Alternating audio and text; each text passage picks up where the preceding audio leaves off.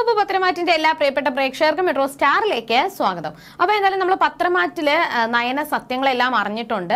എന്തായാലും നവ്യെ സഹായിക്കാൻ വേണ്ടിയിട്ട് നയന കൂടെ നിൽക്കുവാണ് ഇനി ഇതിന്റെ മുന്നോടിയായിട്ട് എന്തൊക്കെ നടക്കുമെന്ന് നമുക്ക് നോക്കാം. അതിന് മുൻപ് ആദ്യമായിട്ടാണ് ഈ ചാനൽ കാണുന്നതെങ്കിൽ തീർച്ചയായിട്ടും സബ്സ്ക്രൈബ് ചെയ്യുക. അപ്പോൾ ഞങ്ങളുടെ പുതിയ സീരിയൽ റിവ്യൂ വീഡിയോസ് എല്ലാം നിങ്ങൾക്ക് ലഭിക്കുന്നതായിരിക്കും. അപ്പോൾ ജലജയ്ക്ക് ഭയങ്കര ദേഷ്യമായി. അഭി പറയുന്നുണ്ട് അവൾക്കിട്ടൊരു പണി കൊടുക്കാൻ വേണ്ടിയിട്ട് കാത്തിരിക്കാമേ. ഉടനെ തന്നെ അവളെ ഇവിടുന്ന് പുറത്താക്കും എന്നൊക്കെ പറഞ്ഞുവെങ്കിലും ജലജയ്ക്ക് ഭയങ്കര ദേഷ്യമാണ്. അതിനേക്കാളും എൻ- എന്റെ ആ ഒരു സത്യങ്ങൾ എന്നെക്കുറിച്ചുള്ള എല്ലാ സത്യങ്ങളും അവൾ മനസ്സിലാക്കി എന്ന് എനിക്ക് ഉറപ്പായി. കാരണം അത് നവ്യ പറഞ്ഞിട്ടുണ്ടായിരുന്നു എനിക്ക് ചൂണ്ടിക്കാണിക്കാനായിട്ട് ഒരു അമ്മയെങ്കിലും ഉണ്ട്. എനിക്ക് ചൂണ്ടിക്കാണിക്കാനും പേര് പറയാനും ഒരു അമ്മയുണ്ട്. പക്ഷേ നിങ്ങൾക്ക് അങ്ങനെ ഇല്ലല്ലോ എന്നൊക്കെ പറഞ്ഞപ്പോൾ ജലജയ്ക്ക് മനസ്സിലായി. അവൾ എല്ലാ സത്യങ്ങളും മനസ്സിലാക്കിയിട്ടുണ്ട്. എന്തായാലും ഇനി ഇങ്ങനെ പോയാൽ പറ്റത്തില്ല. അവൾക്ക് അവളെ ഒരു പാഠം പഠിപ്പിക്കണം എന്ന് വിചാരിച്ചുകൊണ്ട് ജലജ നിൽക്കുവാണ് ഈ സമയം നമ്മളെ കനകയും ഗോവിന്ദനും കൂടി നന്ദുവിനെ കുറിച്ച് സംസാരിച്ചുകൊണ്ടിരിക്കുകയാണ് നന്ദു പോയിട്ട് ഇതുവരെ വന്നില്ലല്ലോ. ഇത്ര നേരം ആയില്ലേ എന്നൊക്കെ പറഞ്ഞ് സംസാരിച്ചുകൊണ്ടിരിക്കുമ്പോഴാണ് അനിയുടെ ബൈക്ക് വരുന്നത് കണ്ടത്. അനിയുടെ ബൈക്കിന്റെ പിറകിൽ നന്ദുവും ഉണ്ടായിരുന്നു.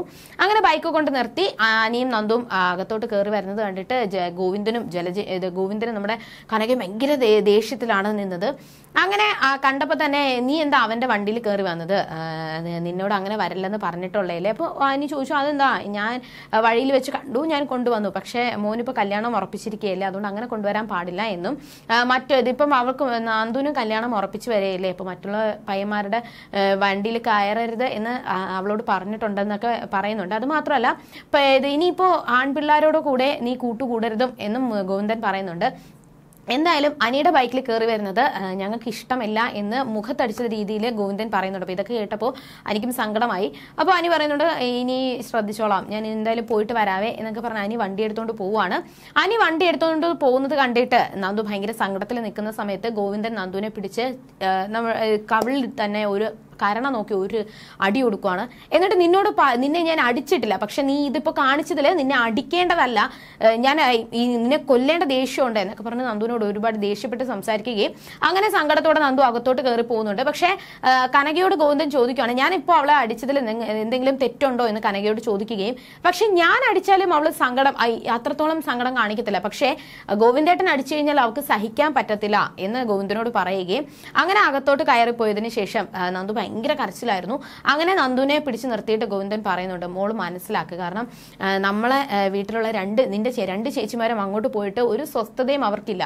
അവർ ഏത് സമയം വേണോ ഇങ്ങോട്ട് വന്ന് നിൽക്കാം അല്ലെങ്കിൽ അവിടെ നിന്ന് എല്ലാം കളഞ്ഞ് സ്വന്തം വീട്ടിൽ നിൽക്കാം എന്നൊരു സാഹചര്യത്തിലാണ് അവർ നിൽക്കുന്നത് ഈ സമയത്ത് നീയും കൂടി ഇങ്ങനെ കാണിച്ചാൽ എങ്ങനെയാണ്? നീ പറഞ്ഞത് മനസ്സിലാക്കുക എന്നൊക്കെ പറഞ്ഞ് നന്ദുവിനെ ഓരോ കാര്യങ്ങൾ പറഞ്ഞ് മനസ്സിലാക്കാൻ വേണ്ടിയിട്ട് ശ്രമിക്കുകയാണ് ഈ സമയത്ത് ആദർശ് ഭയങ്കര ടെൻഷനിലിരിക്കുമ്പോൾ നയന വന്നിട്ട് ആദർശിനോട് ഓരോ കാര്യങ്ങൾ പറയുകയും ഞാൻ പറഞ്ഞത് വിശ്വാസം ഉണ്ടെങ്കിൽ വിശ്വാസത്തിൽ എടുത്താൽ മാത്രം മതി പക്ഷേ ഞാൻ കള്ളം പറയാറില്ല എന്നൊക്കെ പറഞ്ഞിട്ട് നവ്യയുടെ കാര്യത്തെ പറ്റി അവർ അങ്ങോട്ടും ഇങ്ങോട്ടും സംസാരിക്കുവാണ്. അവസാനം നയന പറഞ്ഞത് ഇനിയിപ്പോൾ ആദർശയുടെ എന്നെ സഹായിച്ചാലും സഹായിച്ചില്ലെങ്കിലും കുഴപ്പമില്ല. പക്ഷേ എനിക്ക് ചേച്ചി ഒരു തെറ്റും ചെയ്തിട്ടില്ല എന്ന് ഉറപ്പാണ്. അതെല്ലാം മോർഫ് ചെയ്ത ചിത്രമാണ്.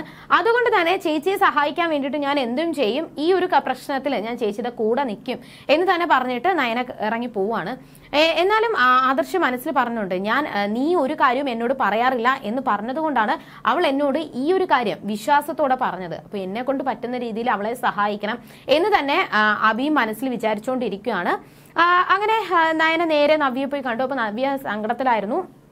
ചേച്ചി എന്താ ഇങ്ങനെ സങ്കടത്തിലിരിക്കുന്നതെന്ന് ചോദിച്ചപ്പോൾ നിർമ്മല വീണ്ടും എന്നോട് ഓരോ കാര്യങ്ങൾ പറഞ്ഞു വിളിച്ചു. അവസാനം ഞാൻ അവന് നല്ല വിളിച്ചു നല്ലപോലെ ദേഷ്യപ്പെട്ടിട്ടാണ് കോൾ വെച്ചത് എന്നവിടെ നവ്യ പറയുന്നുണ്ട്.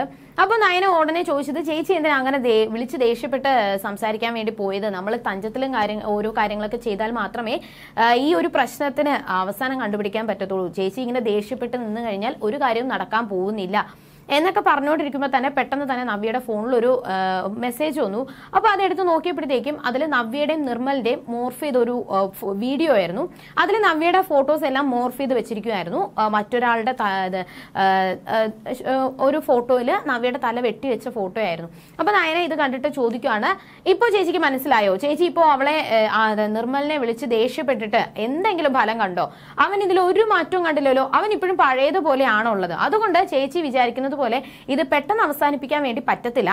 എന്തായാലും ഇത് ഉടനെ തന്നെ നമുക്ക് ഓരോ കാര്യങ്ങൾ പറഞ്ഞ് അല്ലെങ്കിൽ അവനെ അവനെ വിളിച്ച് ദേഷ്യപ്പെട്ടിട്ടോ അല്ലെങ്കിൽ അവനെ നേരെ കണ്ട് വഴക്ക് പറഞ്ഞിട്ടോ ഒന്നും ഒരു കാര്യമില്ല ഇതിൽ ഒരേ ഒരു മാർഗം മാത്രമേ ഉള്ളൂ. അവൻ വിളിക്കുന്നിടത്ത് എല്ലാം ഇപ്പോൾ ചേച്ചി അവൻ ഓരോ സ്ഥലത്ത് അവൻ പറയുന്ന കാര്യങ്ങളെല്ലാം ചേച്ചി ശരി വെക്കണം അവൻ വിളിച്ചാലും എന്ത് പറഞ്ഞാലും ചേച്ചി അത് ശരിയാണ് എന്നൊക്കെ പറഞ്ഞ് അവൻ വിളിക്കുന്ന കാര്യങ്ങൾക്കെല്ലാം സമ്മതിച്ചു കൊടുത്ത് ശരി വെച്ചതിന് ശേഷം അവിടെ വരുത്തി അവനെ വരുത്തി വേണം നമ്മൾ മറ്റുള്ളവരുടെ മുന്നിൽ കാണിച്ചു കൊടുക്കാൻ വേണ്ടിയിട്ട് അവനെ കൊടുക്കാൻ വേണ്ടിയിട്ട്. അത് മാത്രമേ മാർഗമുള്ളൂ അതുകൊണ്ട് അവ ഇനി എന്തെങ്കിലും വിളിച്ച് ചേച്ചിയുടെ അടുത്ത് ചോദിച്ചു കഴിഞ്ഞാൽ ചേച്ചി എല്ലാത്തിനും സമ്മതം മൂളിയാൽ മതി. അങ്ങനെ അവൻ എന്തായാലും ചേച്ചി കാണാൻ വരുമല്ലോ. അവിടെ വെച്ച് നമുക്ക് അവനെ പൂട്ടാം. ഇതല്ലാതെ വേറെ മാർഗമില്ല എന്ന് നയന അവിടെ നവ്യയോട് പറയുന്നുണ്ട്. അവിടെ വെച്ചാണ് ഇന്നത്തെ കഥ അവസാനിക്കുന്നത്. അപ്പൊ ഇനി എന്തൊക്കെയായിരിക്കും സംഭവിക്കാൻ പോകുന്നത്? എന്തായാലും നവ്യ തെറ്റുകാരി അല്ല എന്നൊരു വിശ്വാസത്തിൽ നവ്യയും നയനയും സഹായിക്കാൻ വേണ്ടിയിട്ട് ആദർശ് തയ്യാറായിട്ടുണ്ട്.